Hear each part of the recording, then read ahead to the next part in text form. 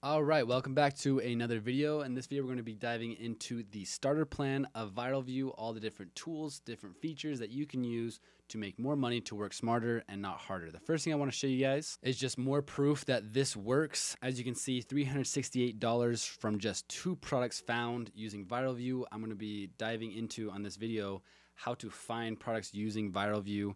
Um, as you can see, just all the different sales from these two products and how much they've made.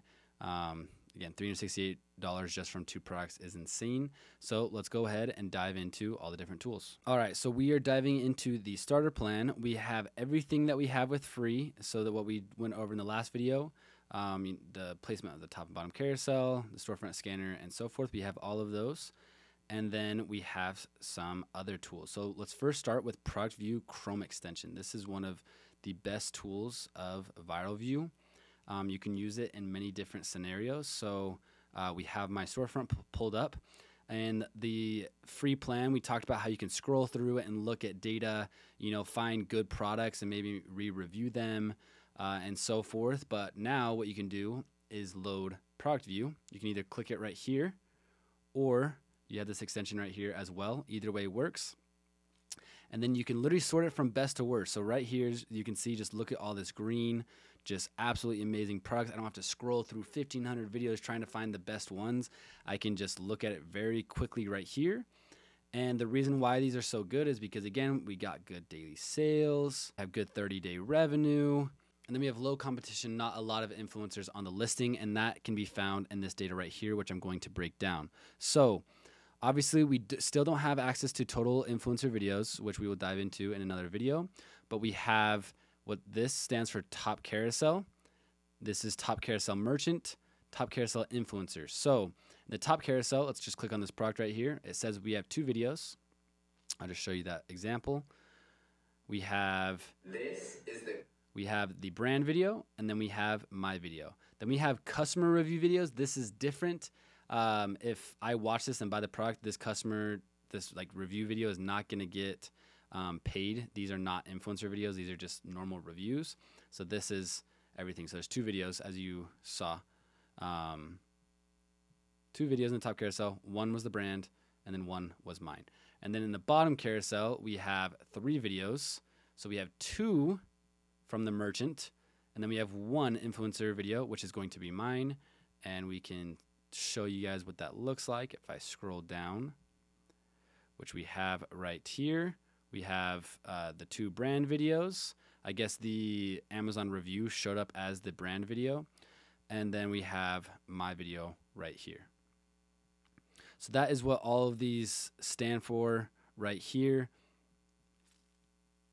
And as you can see, it's just very low. Like we don't have a full carousel um, on any of these products, and that's why their viral score is so high. Like look at their sales, just absolutely amazing and then look at how like just open these carousels are. So that's that's when it's going to be worth it to, you know, scan your storefront, see which products are good, which products are selling well, which products still have open carousels, or something that you can also do is you can do something like this. You could like sort from the highest daily sales and look at which products like sell the most or see which products have the best 30-day revenue.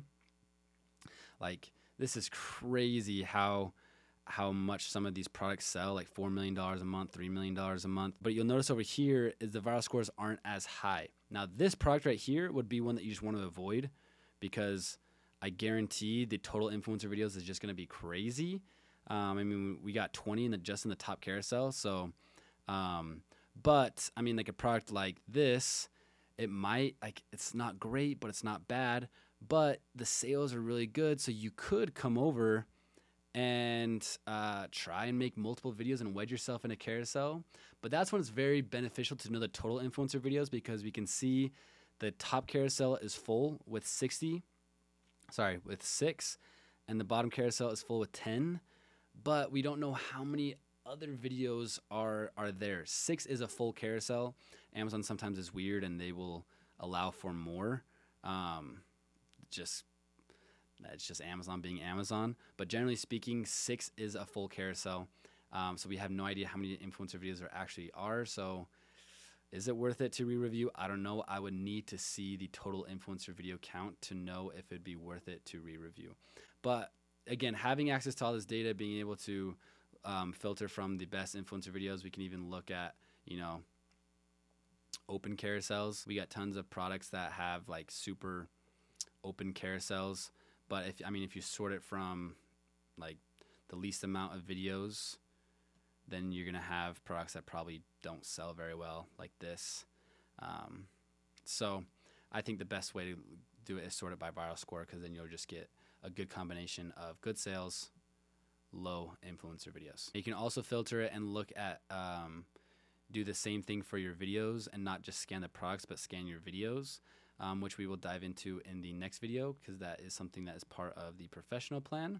But let's keep going forward with uh, product view and how else you can use it. So in the last video, I used the example of sheets. So let's go ahead and look at sheets again. Again, you can scroll through, look at this data, or you can use product view and just truly find the best of the best products. So these are going to be um, the best products right here uh, because again, the sales and low top carousel number right here. Again, green is going to be really good, yellow is going to be okay, and then red is going to be bad. So if I was shopping for sheets, 100% would buy one of these. Um, but that is a quick view of how you can do it with shopping on Amazon. And the last thing you can do is you could also do this to someone else's storefront and you know figure out what products of theirs are, are good, what products of theirs are bad, and just get all this data, learn from them. Um, maybe there's a product that you want to get that they have and so forth. So that's a quick summary of product view Chrome extension. Now let's dive into sales estimates. Um, we kind of already went over this with the product view, but now as you can see, um, you can see now what the 30 day revenue is if I want to add on daily sales. We'll hit refresh. And now we can look at the daily sales as well. Um, we can go to my storefront. We can now see the 30 day revenue. If it says unknown, that means it's not doing significant enough sales for it to even be relevant. But again, this type of data is going to be crucial. Um, in the last video, I think I showed these two products right here, if you remember, and how this viral score was better than this one. And as you can see, the, the 30 day revenue, it's not even doing any sales as of now. I think it's a fairly new product, uh, where this one is doing 10 grand a month. Now, that's not anything crazy, but it's, which is why it's not like 80 or 90 viral score. But because I'm the only video, it's great. Of the $10,000 in revenue that they do do, I I will have a good chunk of that because I'm not going to be the only video on there. So super awesome to have access to the sales estimates. Um, before we dive into order history scanner, let's dive into storefront spy. So again, we can uh, look at Trevin's videos and see where he is placed.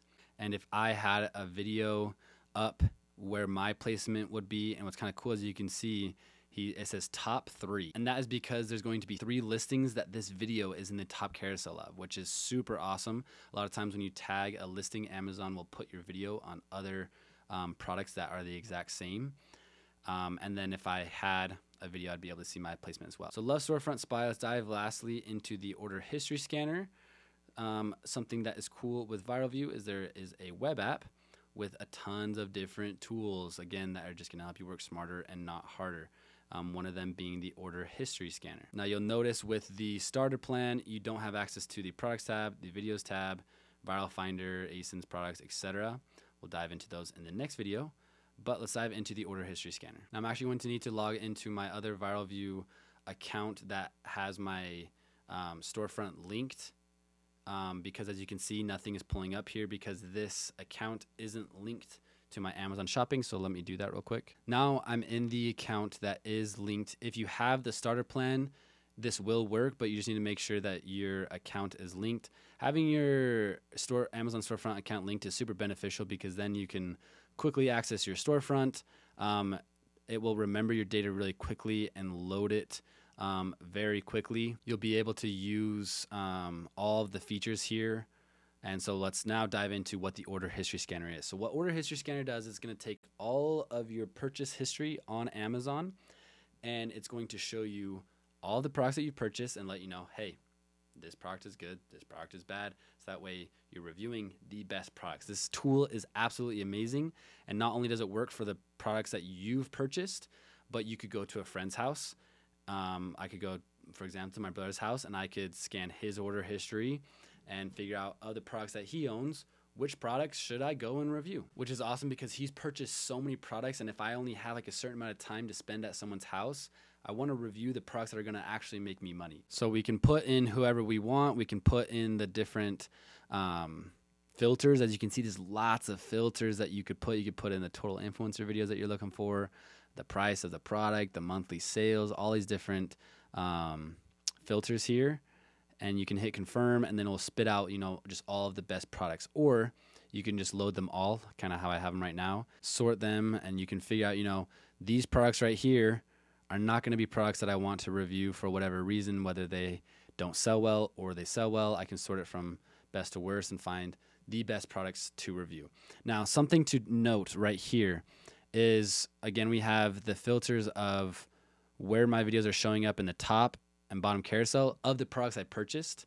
So of the 1,600 products that you know I purchased, um, 35 are in the top carousel, 75 are in the bottom, 129 are in both, 35 are in neither. 18 don't have a top carousel. Don't want this number to be high. That means you're reviewing products where the top carousel doesn't even exist. And then we have a thousand products that I have yet to make a video of. Now, I this is across all of these Amazon accounts right here, so it's not like I haven't purchased this many products.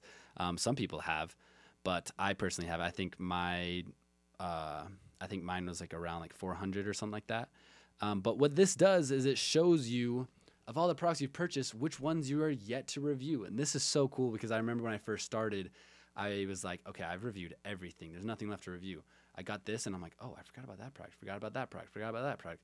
I forgot forgot about this one and I'm like, oh, but I don't want to do that one because it doesn't have a top carousel. Or, um, oh, this one I forgot about, but it, it's an, a great opportunity. It sells well and the carousels are super open. So this is super cool to be able to look at to see all the the products that um, you have access to that you haven't made a video of. And then this last one is you don't have a video, but there is no top carousel. So you're not even going to want to mess with these because if you just review these ones, it's just going to show up right here. And like, for example, let's click on one. As you can see, there is no top carousel. So people can't even watch your video if you upload it. So whether you are just starting or you've been doing this for a while, you will want to scan your order history. That's going to be like one of the first things that you're going to want to do and make sure you have reviewed the products that you already own that are going to make you the most amount of money. I showed you guys this case study at the beginning of the last video and how you can do a lot less videos and make a lot more money. And it's by doing simple stuff like this and just making sure the products you're reviewing are going to be products that actually make you money. Now that sums up all the tools for the starter plan. If you haven't already subscribed, make sure to click the link down below and use the code VIRAL10 to subscribe to Viral Vue and take advantage of all the tools that I talked about in this video. Again, we got the Product View Chrome extension that's going to help you find the best products to review. I showed you guys this from earlier. Um, finding good products to review that you're already going to buy. Uh, we got the sales estimates, order history scanner, storefront spy. Now let's dive into the professional in the next video. We'll see you guys there.